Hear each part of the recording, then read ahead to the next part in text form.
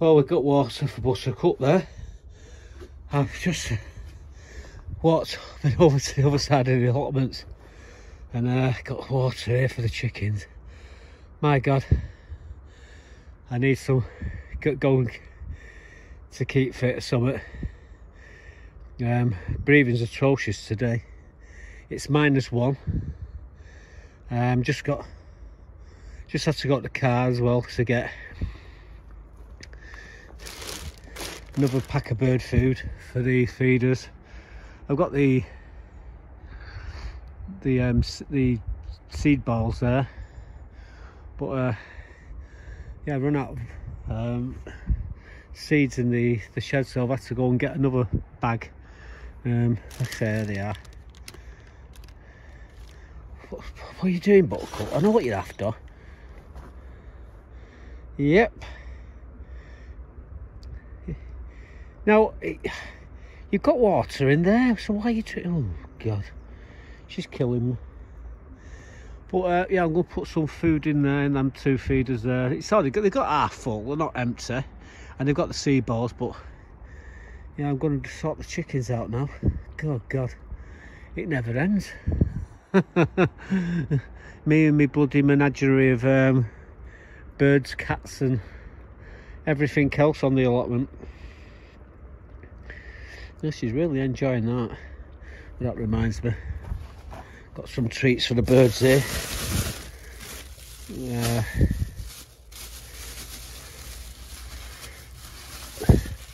These uh, tea cakes, lots of currants in them. We'll come back to these potatoes in a bit and uh, we'll come to these corn in a minute. These are by the way a golden fleece and I dried them out in my greenhouse at home. So I'm going to be separating them.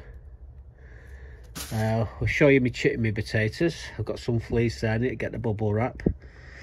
We've got everything set up here. So yeah all this is um, going to be doing this today.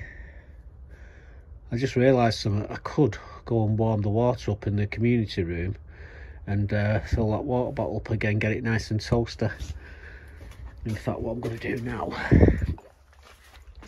Put it in there that. Warm that one up. So she normally sleeps in that one during the day and in the evening she cools up in this one here so I want to keep it dry and I don't want it damp. You know this stuff gets damp gets on the chest it's going to cost me a fortune at the vet you got water there you numbhead.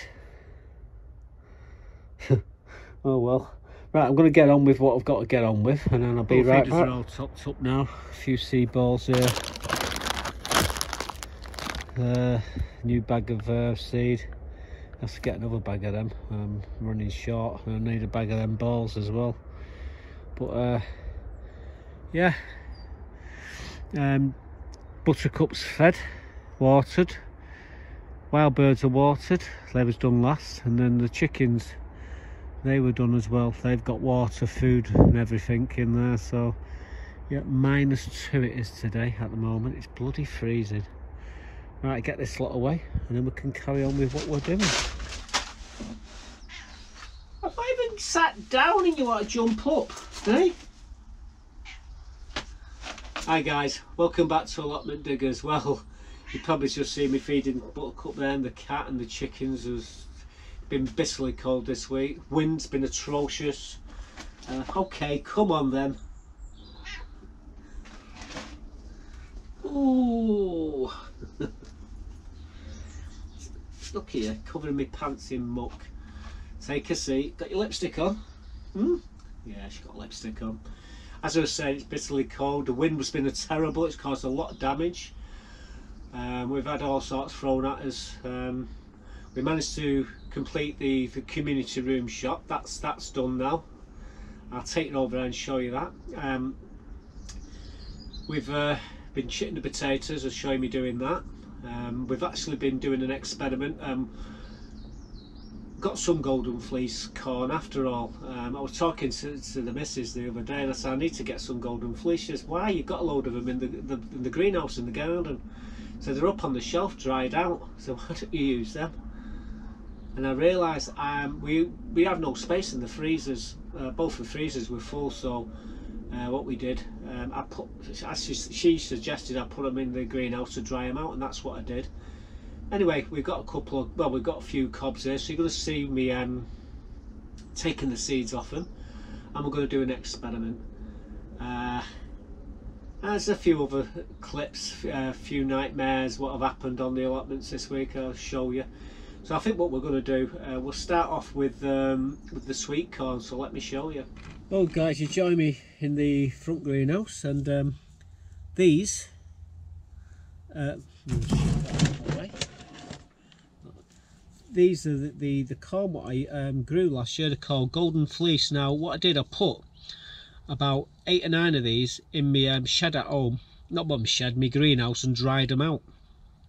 And, um, well, all you do to actually collect the, the seeds is just run your fingers over the top of them like that and try not to drop them in the compost that they and they just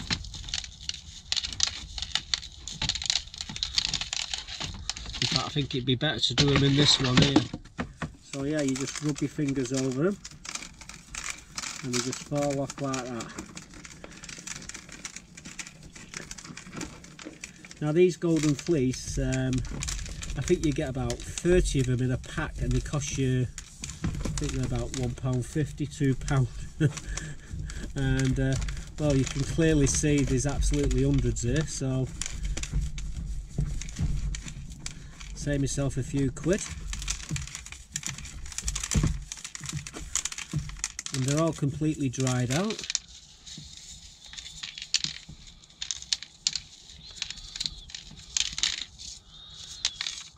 There we go. So that's a um, another load.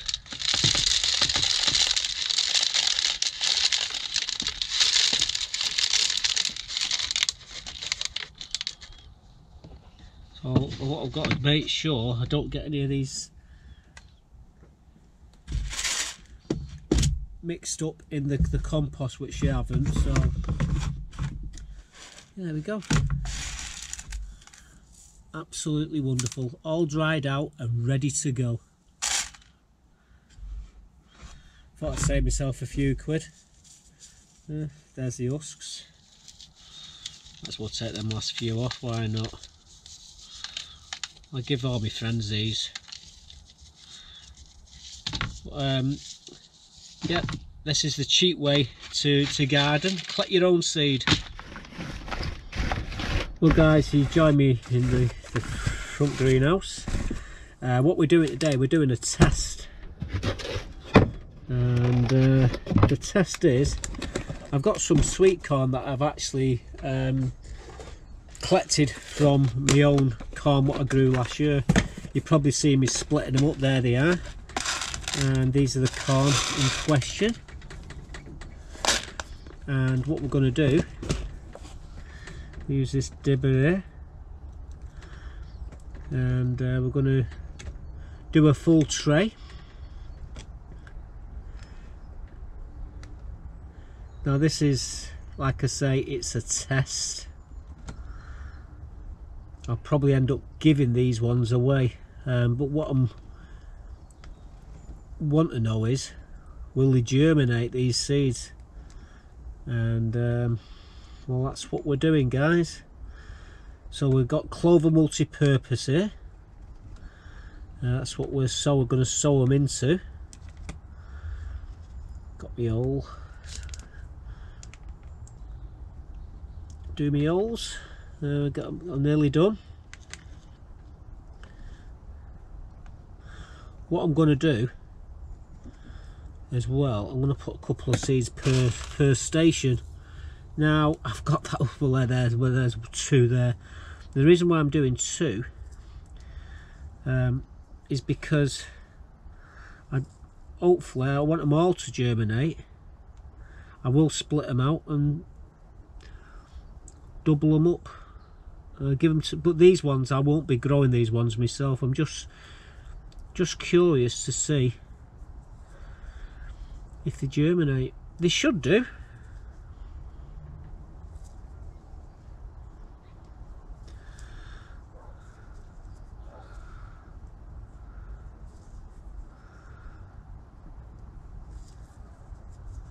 Um, yeah, we we've got a pile of these. I've still got a couple more of these um, cobs at home, and um, it'd be interesting.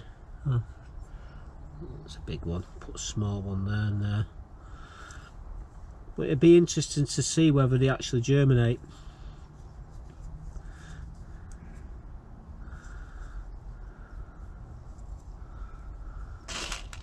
Absolutely, I've got absolutely hundreds here, so I could just put one per station, but I'm not. I'm doing two. You watch, every one of them will probably germinate. Won't be a problem. We'll, we can split them up, and we do split them up. I'll be giving them to my friends. Them ones don't.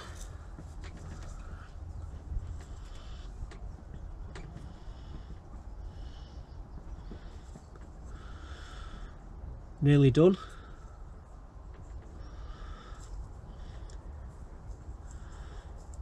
Yeah this is something for nothing.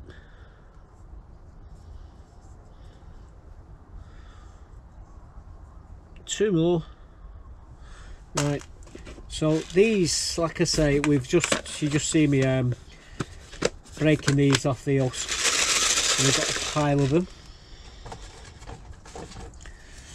So they come from there. There's a few left on there, but you know. I'll put these to one side. Just push them down a little bit. Make sure they're all at the bottom. It's about inch down. These will take about a couple of weeks for them to to actually germinate. You start seeing them grab another one of these. Need to clean these out. This is uh, tepid water. It's water which uh, has been in here for about a month. Um, all the chlorine's out of the uh, dissolved out of the water now.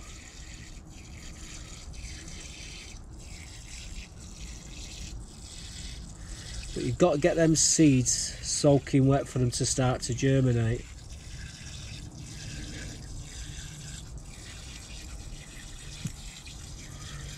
And as you see there what's happened is the the soil is actually filled around them. But what I'm going to do is put a bit more soil over the top.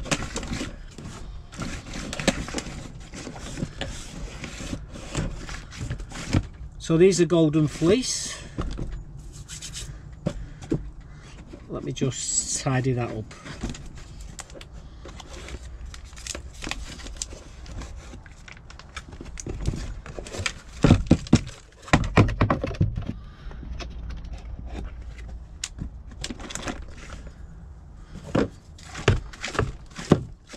There we go. Better. Right. Bit more water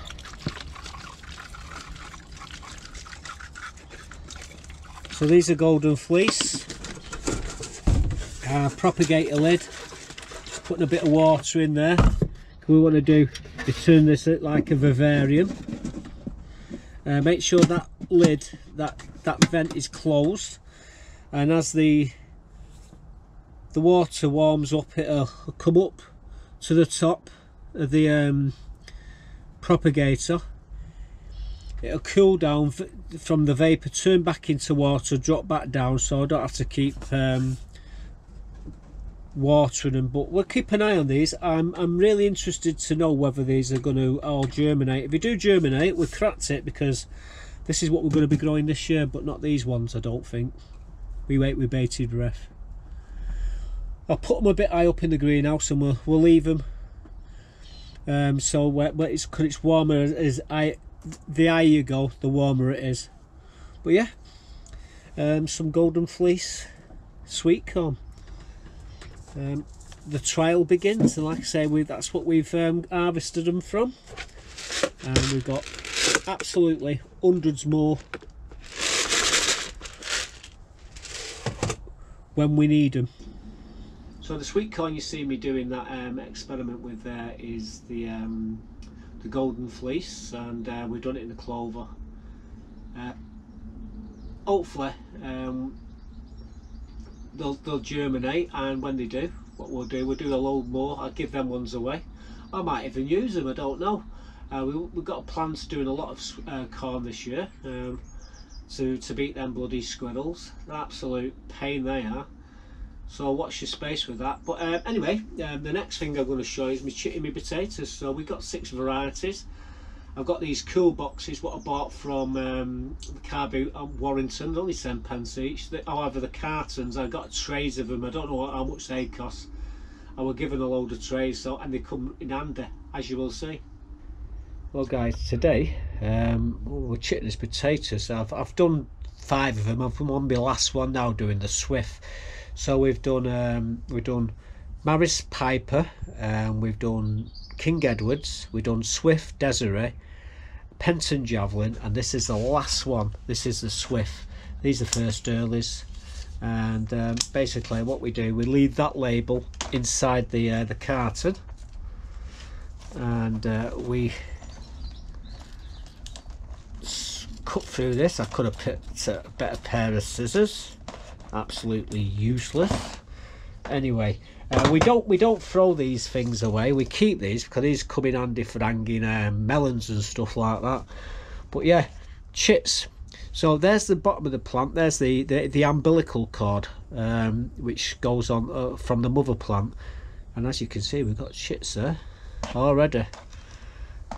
And it's just getting the umbilical cord. I could do with taking them out of here so that's what we're going to do it's easier for me to get them in.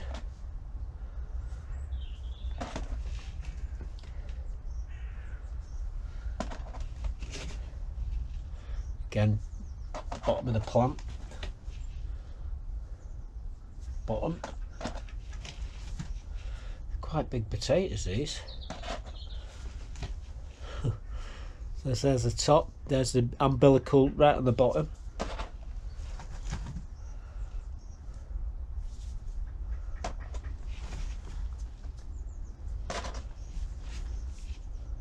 umbilical chits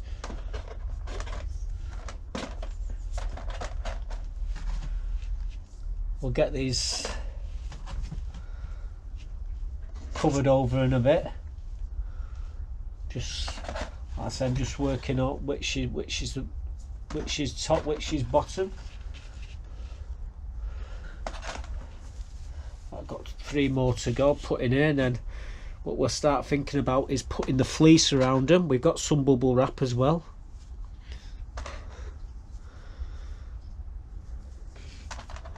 Right, so we got these here. Got the bubble wrap oh sorry got the the fleece the bubble wrap's over there and if you heard that meow yeah she's there and she she's watching what I'm doing. She has been screaming half all the way through the video um, the other video so of, of, this is the last one if she keeps her gob shut we'll be fine. But um, yeah all these now I'm going to wrap them in bubble wrap and, and fleece. So the fleece will go over them first. I'm going to show you them set up in the the back greenhouse because that's where these are all going but yeah these these are fantastic. You can like I say you can stack all your potatoes one on top of each other. There we go they're all stacked together. Absolute awesome. So I'm a different handle you can see them all there. There's six varieties. Uh, get the bubble wrap round them we'll get them into the back greenhouse and um, then, we'll leave them to chit away we'll keep an eye on them um, in another probably another four weeks we'll be putting a few of these into buckets in the front greenhouse uh, getting them off to an early start. Right onwards and upwards. I'll show you where they are in a moment when we got the get them into the back greenhouse. Well guys They, these are the spuds, They're like pigs in blankets. they got fleece underneath the bubble wrap, so there's no condensation can drop onto the potatoes. I don't want them get damp and go soggy. However, you, you do need to just give them a bit of a spray to start off with. Keep an eye on them, but they should be fine here. And like I say, they're in the greenhouse along with all my um, my rosemary bushes. Oh, they will be. I took the top off that one as an experiment to see the there's bush out on that one, and that's what they're starting to do now. So that's uh, I've got to get down there and do it with them others. Yeah, the glass does need cleaning. Uh, this can all be done um, later on in the uh, the uh, couple of, uh, another month or so. I'll come in here with me um, my jet wash and hit these and clean them. But most of it's on the outside anyway. But yeah, there we go. Potatoes all chitted up and ready to rock and roll. So the fleece um, and the bubble wrap is wrapped round them now. They're in the, the back greenhouse as you saw there and uh, they'll chit away nicely. Um, hopefully the, the, the, optics on this um, isn't playing up. Um, the, the, the sun's right behind me here at the moment and I've got an horrible feeling I might have to do this video again before we get it up posted. Um, yeah, as I was saying earlier this week, the weather was atrocious. I mean, it's been up and down. We've had everything thrown at us this week. The snow's just melting away now but uh, we had snow. Um, you might see on the the walk around at the end of the video what it looked like. Uh, well what, what it looks like now anyway. But um, yeah the wind was atrocious and this this is what the wind actually caused. Well the wind was absolutely devastating last night and as you can see it's destroyed Mark's greenhouse here. Absolute oh this is very sad um, look at the state of this.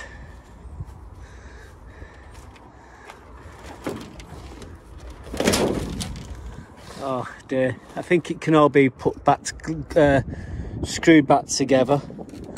But um, it needs rope round it to hold it together because this wind's just going to blow it all over. Look at the state of this, this is so sad. Brand new greenhouse this as well. Right, I'm going to have to notify him and let him know what's happened. He will be absolutely devastated. This is Lindsay's greenhouse, which ain't looking too good. It's lost some panels and a door there. Yeah, this wind, I didn't realise how, how strong it was yesterday. But um, it's played havoc around the allotment. Everywhere I'm looking is, is damage someone's lost a grow house this is uh, where the, this is the old uh, chicken compound um, we're re well we're stripping everything out and redoing it all. Um, all this has all got to be burnt but yeah we've acquired um, someone's grow house inside the uh, the poly inside the compound. Buttercup I'm just coming along here and I can see panels missing out of uh, Jim's greenhouse there. His uh, polytunnel is collapsed there. He's got a door missing off here. Oh dear. It's not looking good. You know, I'll continue walking around assessing the damage and um, notifying every bugger. Well, Yvonne's greenhouse looks like it's listing slightly, been lifted up. Um, I say I didn't realise this wind was that strong, but uh, at least she's still got all the glass in it, which is uh, which, which is okay. So my mate Mark, he's um, he, he come down, I sort of rung him up. The greenhouse is almost back to normal. Um, the the front of it is still working on it. He's not got the um, the framing. He's waiting to get some Loctite for the the screws. It was the screws that come undone and caused all that damage. We still don't know um, who the grow house belongs to, which you saw in the video. Um, Yvonne's greenhouse is still tilting and there's a few uh, greenhouses with glass missing out over the other side of the allotments as you saw as well but yeah pretty much we got away with it but the winds on here I tell everybody. The winds are that strong on here at times. You, you've got to batten everything down. And then what happened then after the winds and the snow? The frost. And I come on the other day and um, well let me show you what I had to do. Well this is a wonderful burst. I'm going to have to bring the car around with all the tools in and do it. Absolute pain in the ass. So I've tightened the bracket up, the, the uh, Jubilee clip up. Now what I'm doing is waiting for um, Mike to give us a ring back to tell us that he's turned the uh, the stop tap back on. Oh, just one last check on the uh, the water main. It's okay. It's stopped. it was like spraying out everywhere when I when I come on this morning. I looked up and I could see spray coming out, and I knew straight away what had happened. There was a burst. But anyway, it's all fixed for now. But I need a piece of that. I need them and them. Uh, actually I've got the the 12 mil I just need the three quarter and I need a reducer. So that's what I need. I need a piece of that uh, three quarter. I need about I say about 18 inches of it. And uh, what I can do is um, extend that pipe a bit longer because that's it's not long enough really. What I do is I'd eat that pipe up and get some boiling water, I'd eat that pipe up, soften it and then push the pipe right down it. That'll solve all the problems then. But now it's just a quick fix and as you can see we still got water. I put the cones back, my car's down there, it shouldn't be here on the back but I've had to use the car to fix this. I certainly wasn't going to drag all the tools over so anyway the ground's solid enough to drive on but closed the road off because of the um, because it was too soft. Anyway see you in a bit guys. A burst at the top of the allotments. I still need to do that properly. I need a, I need a three quarter copper pint. I need a reducer and obviously I'm going to need um, another uh, 12 milli copper pipe as well. And then I can do the job. It's, it's, it's secure it's working. The water's on at the moment you can't really turn the water off because of the chickens and the ducks. So this is why they, they, they keep blowing. Um, but yeah we fixed it. I've got to tell you guys I've been washing my hand this hand here for the last couple of days. Um, what what I had to do was put my hand outside down into where the stop tap is to turn it off the you know the stop tap. It's outside the allotments and what someone had done the dirty buggers Dropped a load of uh, um, dog feces down the hole and I put my hand in. And yeah I should have done the lottery but I didn't. And for two days I've been washing my hands scrubbing this hand until it bleeds. But um, yeah so that was another job um, I had to do. A uh, bit of good news though, we've um, completed the community room um, electrics and I'm going to take you over there now we did i I've done a little video to put up on the, the Facebook group uh, to show people what they need to do. We don't want them to leave the lights on we don't want them to leave the electrics on. We have got a, a remote control switch next to the door which turns everything off and that has to be turned off when they finish. So anyway I've got this little clip to show everybody how to to do the electrics. You see a few other things. We've got a new um, table and chairs in there as well. It still needs a bit of a sweep out but um, the lights and everything's working so let well guys you. as you can see we've got the uh, microwave in here now toaster and kettle. Um, here's a switch which works the lights. Once you've if you turn the lights on you do not leave the community room until they're turned off. Now to operate all these you have to hit that switch. When you've finished using these that switch has to be turned off. Okay do not leave it on. Now come over and um, you can like do your beans and what have you.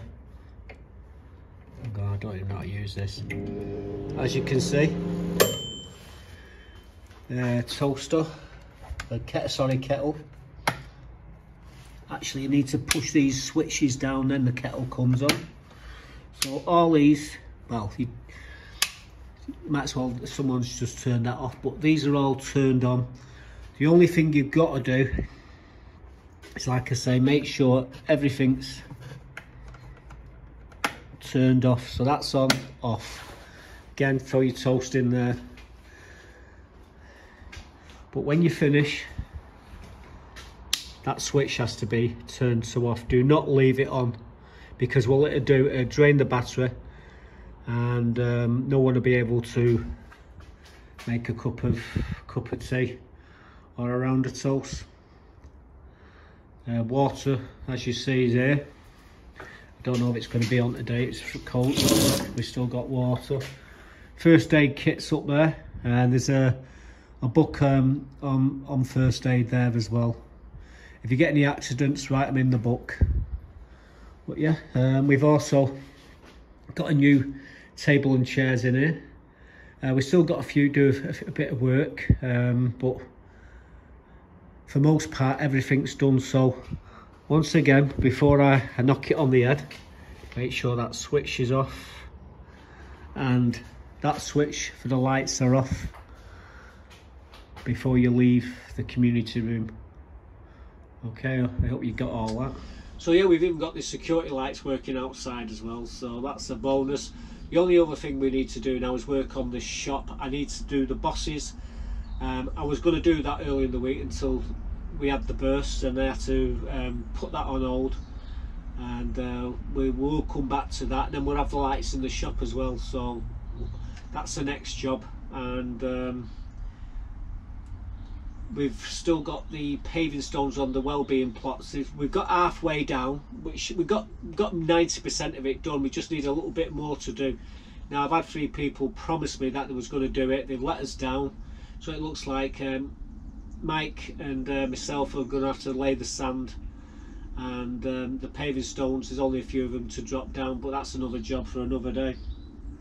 But um, yeah there's still two two well-being plots um, left for anybody who's interested in. And um, you can actually apply for one of these uh, well-being plots. They're only 20 pound each and they're like a quarter plot. They're for walking disabled so you've got to have a blue badge. And um, the, the, the, these two two plots and the way to to apply to it is to go on to Salford Council's website look under self-managed um, allotments and you'll see as there um, waste allotments and you can leave your details and um, it's the first two we'll get them there's four plots there's already four two been given out but um, they will be more probably come available over the the coming years. Um, but I, I reiterate they're not wheelchair um, disabled they're walking disabled and um, visually impaired I, I, don't think it'd be very good for it's some people who's had heart attacks and stuff like that it'd be ideal. But there is two plots there wet up for grabs. And uh, first two will get get the chance to get them you see the community room that the community room and the, toilets uh, there's a shop and it's right next to the um, the well-being plots. So it's all been catered around where the well where the uh, well-being plots is the shops and everything. Uh, stroke a look um, that the plots are there. But yeah anyone who wants one uh, who's you know who lives in the catchment area of Salford we, we, we can only give plots um, to people plots if they live in the catchment area of Salford so you know.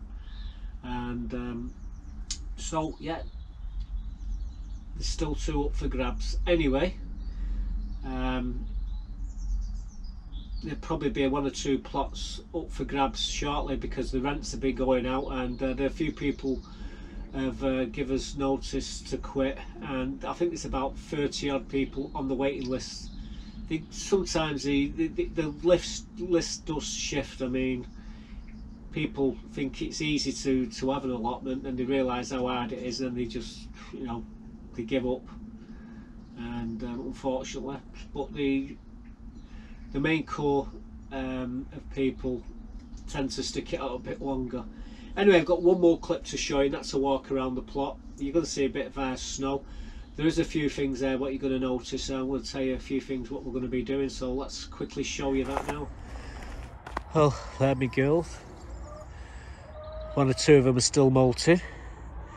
As you can see we've got plenty of uh, the snow's turned to ice now and I don't walk on these paths if I did it'd just wreck them um, this is the the garlic elephant garlic and this is the porcelain white some of it uh, took a bit of an hammering uh, but got some cabbages over there. Um, you can't really see on this side, but you can see the planters are all coming firing up now. Greenhouses are closed. And I only just saw Buttercup, but you can't really see when when she's in the on the snow. But um, all the planters and all the beds, all along the beds, you can just see them all the way along there now, all coming up. Uh, everywhere we look here, all, all here is just breaking through the ice. Same here, all the way along. What? I'm busy. Uh, this bed, we can start seeing some of the uh, the, the um, bulbs breaking through just. Um, but the like I say, it's frozen solid today. All these planters, we've got crocuses and daffodils and tulips coming up. Same with the hanging baskets. I am going to replace some of the hanging baskets. Uh, show you the ones I'm going to replace because we've actually got new ones. Again, all these planters are firing up here.